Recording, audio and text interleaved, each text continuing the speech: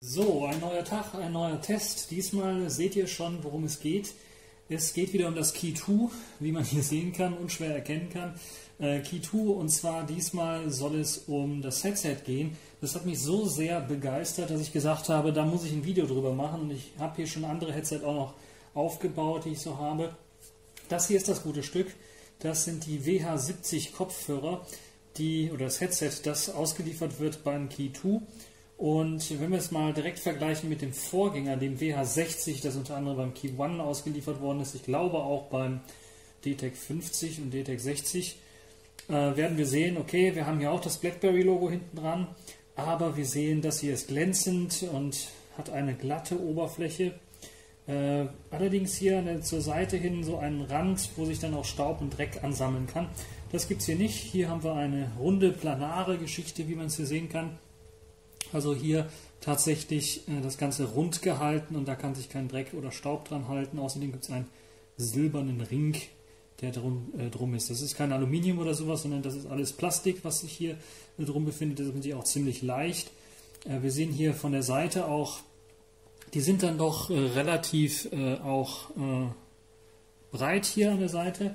Das haben wir bei denen hier nicht so sehr, sondern hier haben wir ein gummiartiges Material und sehr dünn ist das vor allen Dingen auch. Das heißt, hier ist so der erste Schwachpunkt, wo was kaputt gehen kann bei den alten WH60. Und bei den 70ern haben wir tatsächlich ein, ein Plastik hier. Also das ist wirklich fest und massiv. Das ist eine schöne Geschichte, weil das ermöglicht halt einem, dass man nicht so schnell die Kopfhörer kaputt macht. Ja, ein weiterer Unterschied, den wir hier sofort sehen, wenn wir die nebeneinander halten, neben der Ohrmuschel, die eine andere ist, oder dieses Material, was hier ist, das hier ist so ein bisschen durchsichtig äh, und das hier ist so ganz schwarz, ist natürlich der Neigungswinkel. Das sehen wir hier ganz deutlich. Der ist ein komplett anderer. Hier ist es quasi geradeaus, das kann ich links und rechts ins Ohr reinstöpseln und hier kann ich es nur ins linke Ohr reinstöpseln. Und ich sage euch was, das passt wunderbar und dieses Gummi hier hat das richtige, äh, das richtige Material und die richtige Größe, um mein Ohr quasi komplett zu verschließen so dass ich im Grunde genommen fast nichts höre, wenn ich die reingestopft habe. Was äh, Vorteil ist, wenn man Musik hören möchte, Nachteil ist, wenn man damit durch die Straße laufen möchte, weil dann hat man das große Problem, dass man natürlich dann äh, nichts mehr hört von der äh, Umwelt und das ist vielleicht nicht so der Oberbringer. Die Kopfhörer haben mich richtig begeistert, weil die richtig guten Sound liefern. Auch im Vergleich zu den schon recht guten WH60ern, äh, vielleicht noch ein paar Sachen, die ich noch zeigen kann.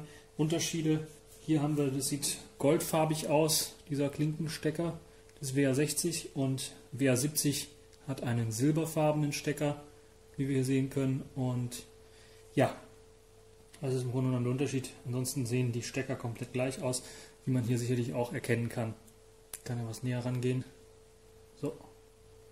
Hoffentlich stellt es auch scharf, schön. Meine Hand vielleicht davor halten. Dann sieht man es. So, ähm, also, das, was ich noch zeigen kann, ist der Schalter hier beim äh, WH60. Da sehen wir, der hat einen Knopf.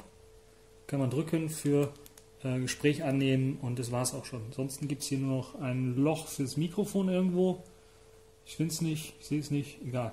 Das war es dann auch schon. Man kann die Lautstärke nicht mit einstellen. Hier äh, ist es ein bisschen was besser gelöst. Also hier haben wir tatsächlich die Möglichkeit, ähm, ihr hört es auch klicken, die Lautstärke hoch und runter zu machen oder sogar zum nächsten Song zu springen, wenn man länger gedrückt hält, wie man das von BlackBerry gewohnt ist. Und man hat eine mittlere Taste zum Annehmen von Gesprächen oder eben Play-Pause.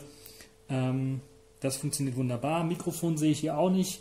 Es gibt einen netten BlackBerry-Schriftzug. Ich hoffe, man kann den sehen.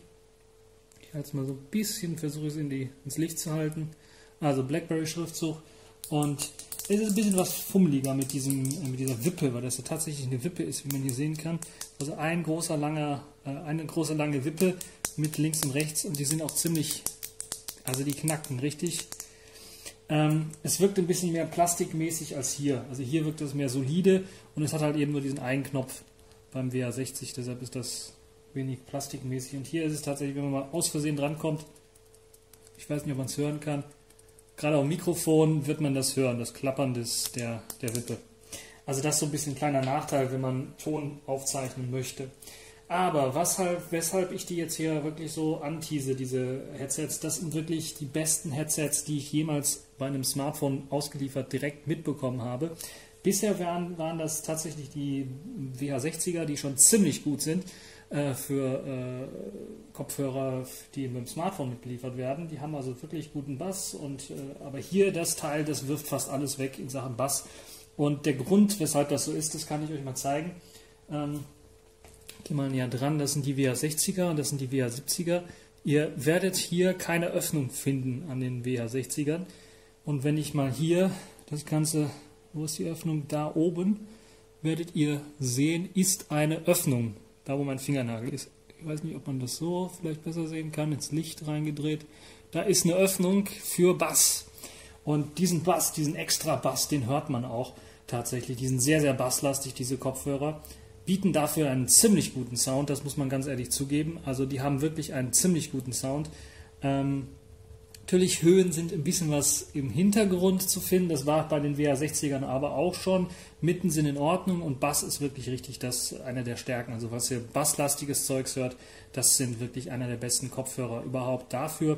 Die liefern ordentlichen Sound und ich habe das mal so ein bisschen verglichen mit anderen Kopfhörern. Ich habe natürlich auch noch äh, richtige On-Ear-Kopfhörer und äh, das sind die Sony. Hier sieht man es auch äh, MDR XB450, das sind also Extra Bass oder Extra Bass äh, Kopfhörer. Das heißt, die machen, produzieren echten, richtigen, tollen Bass und sind natürlich on-ear. Das heißt, das sind so wahrscheinlich die Kopfhörer, die ich anziehe, wenn ich damit durch die Straße laufe, auch wenn es ein bisschen seltsam aussieht aber man kann hier damit seine Umwelt noch ein bisschen was wahrnehmen. Und man hat diesen extra Bass. Und ich muss ganz ehrlich sagen, die BlackBerry-Teile, auch wenn von der Soundstage her, die natürlich durch größere Treiber hier drin äh, viel besseren Sound, äh, eine bessere Soundstage produzieren, vom Bass her kommen die BlackBerry-Teile da, äh, also das WA70 dran.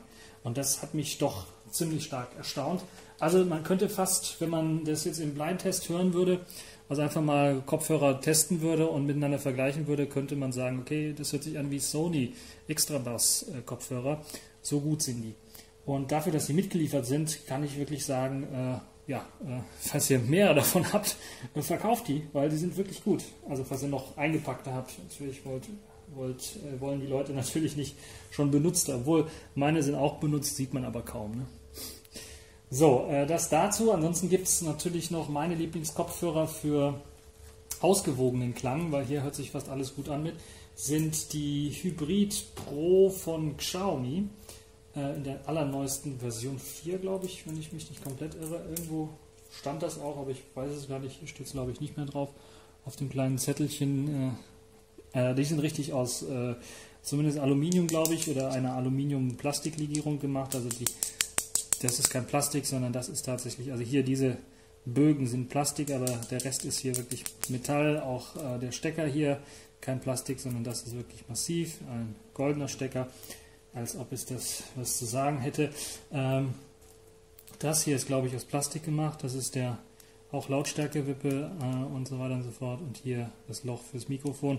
Das sind wirklich gute Kopfhörer, die liefern nicht so viel Bass, sondern liefern ein, äh, eine sehr weite Soundstage, weil die haben einen Triple-Treiber-Gedöns drin. Das heißt, da gibt es äh, tatsächlich für Mitten, für Höhen und für den Bass extra Treiber, die drin sind.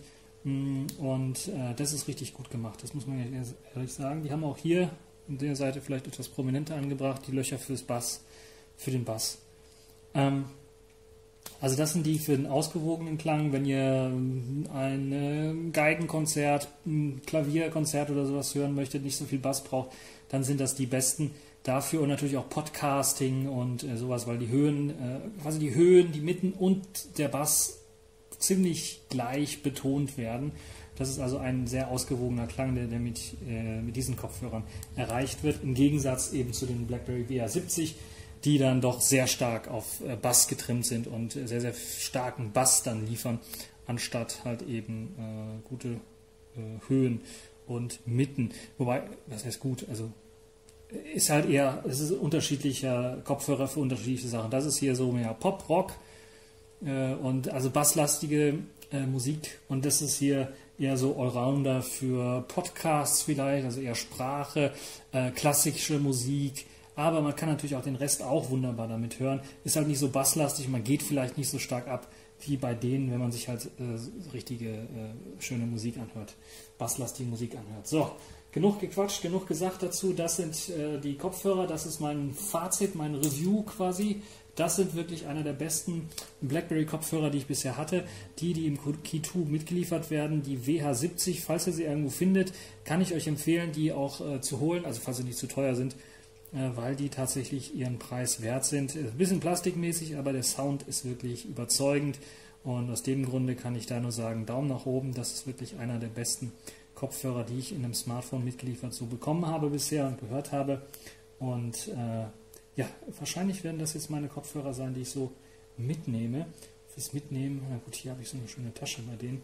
Ich muss mal schauen, ich habe viele Kopfhörer, wie man sehen kann. Ich muss mich dann äh, noch entscheiden, was ich dann da benutzen werde. Ähm, falls ihr noch Fragen habt, könnt ihr natürlich im Kommentarbereich unten einfach reinposten und äh, Bescheid geben.